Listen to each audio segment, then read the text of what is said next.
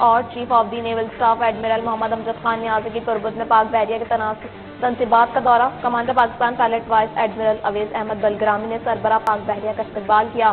तर्जमान पाक बहरिया के मुताबिक नेवल चीफ ने तुरबत में जदीद तिबी आलात से आरास्ता अस्पताल का अफ्ताह भी किया। तुरबत के आवाम को सेहत की बेहतरीन सहूलियात मुहैया करने के अज़म का इजहार।